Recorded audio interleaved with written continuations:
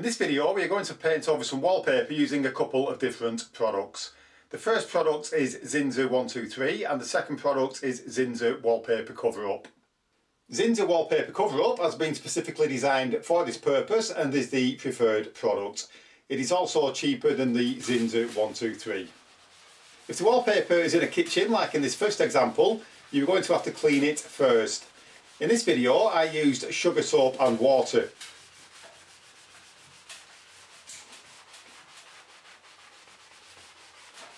If you do use sugar soap, you must ensure that you clean off any residue of the sugar soap, as this can interfere with the adhesion of the paint later on.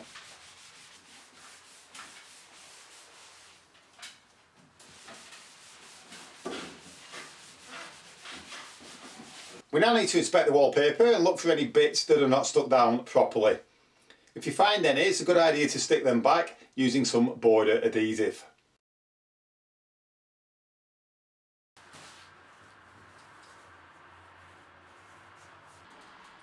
It's a good idea to caulk any gaps using decorator's caulk before we go any further. If any of the wallpaper is mouldy, it's going to need treating using a suitable anti-mould solution.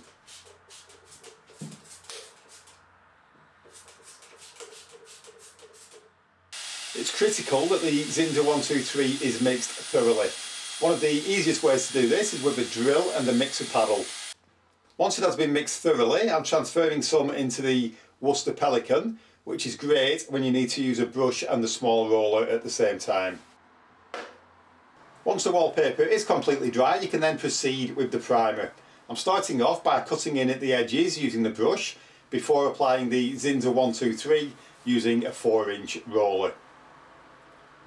Obviously for larger jobs you can use a larger roller but this kitchen is only small and so a 4 inch roller is adequate.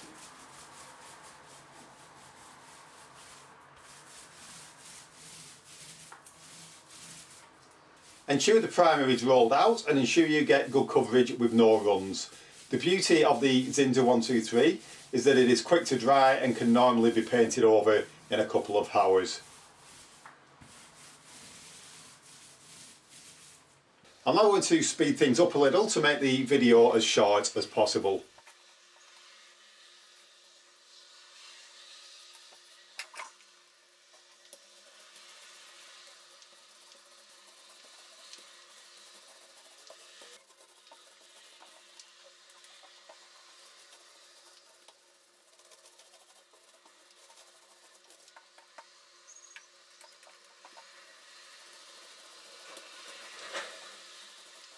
Now the primer has dried, I'm applying two top coats of Zinsser Perma White.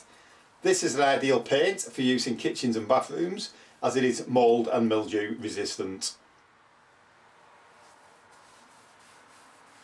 Again I'm using the brush to cut in at the edges, then the 4 inch roller to roll out the brush marks.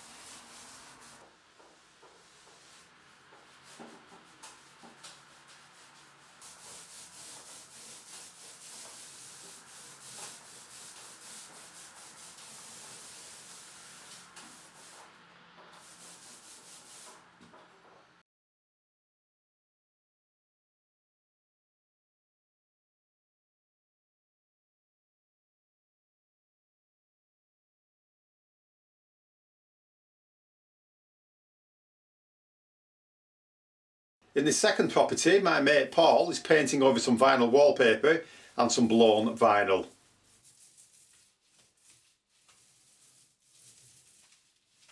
This property has been renovated a good 12 months after the kitchen in the first example.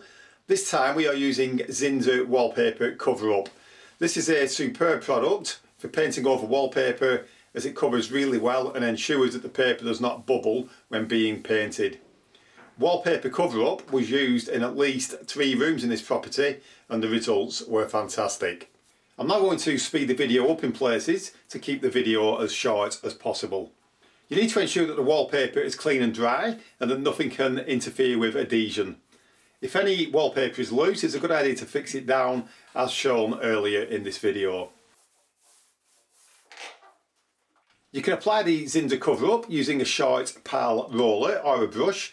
Obviously you can use a larger roller than the one in this video as it will speed up the job considerably. The wallpaper cover up can be painted over after about 8 hours but it's best to leave it till the next day if possible. Now the cover up has dried and it's time to apply the top coat of paint. In this video we're using a Magnolia emulsion which is being cut in at the edges using a brush and then applied using a roller and extension pole.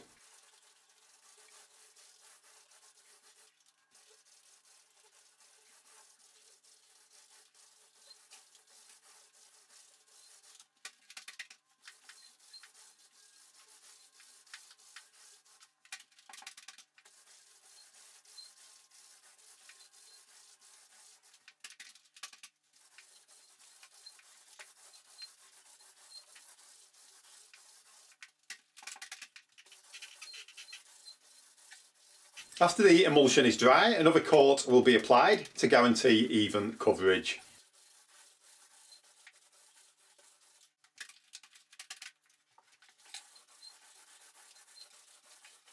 So in this video I gave you two examples of how you can paint over wallpaper.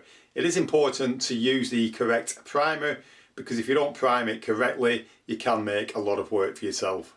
I hope you've enjoyed watching this video. If you have and you haven't done so already please subscribe to the channel.